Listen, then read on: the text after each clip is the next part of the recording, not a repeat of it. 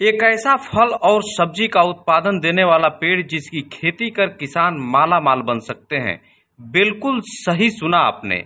कटहल, जिसकी सब्ज़ी के स्वाद का आनंद तो आपने बेहद लिया होगा।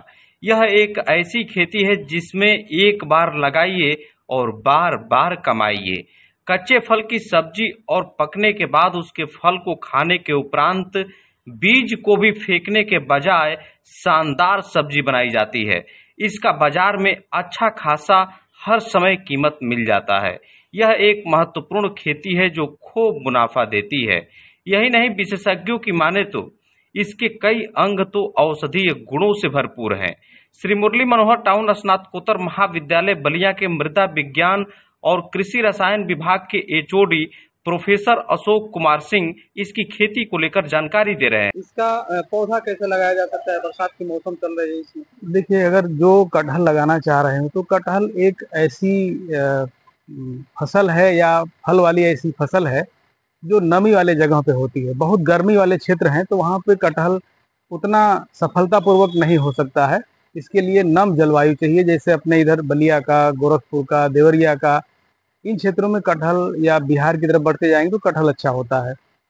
तो सबसे पहले ये है दो बाई दो का गड्ढा खोदने मतलब दो फीट चौड़ा, दो फीट गहरा और दो फीट जो है लंबा, इस तरह का एक गड्ढा खोद लें और उस गड्ढे को धूप लगने दें काफ़ी दिन तक।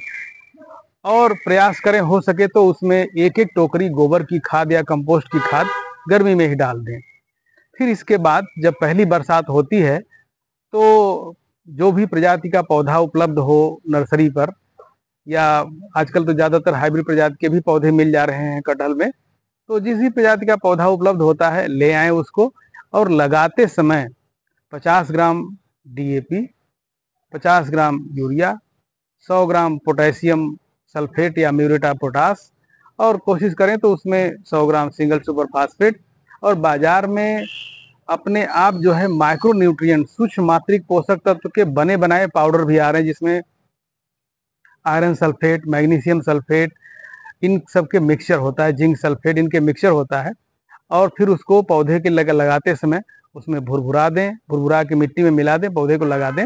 लगाने के बाद बरसात का समय है तो थोड़ा इस बात का ध्यान रखें कि पौधे के आसपास बहुत पानी न इकट्ठा हो तो उसको ऐसा थाला बनाएँ कि थोड़ी सी ऊंचाई वाला रहे। और फिर जैसे ही बरसात बीत जाती है, फिर उसको बढ़िया से गुड़ाई कर दें।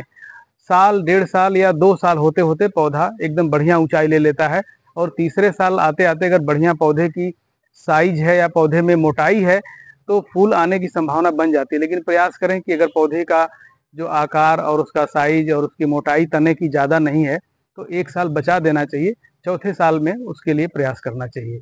तो इस तरह से अगर लगाएँगे तो अगर इन पोषक तत्वों का प्रयोग करेंगे लगाते समय तो निश्चित है कि पौधा जल्दी तैयार होगा हरा भरा रहेगा और समय से उसमें फलत आना शुरू हो जाएगी।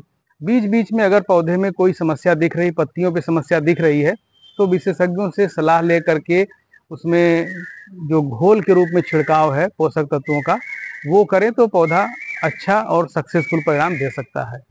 लोकल एटीन के लिए बलिया से सनंदन उपाध्याय की रिपोर्ट।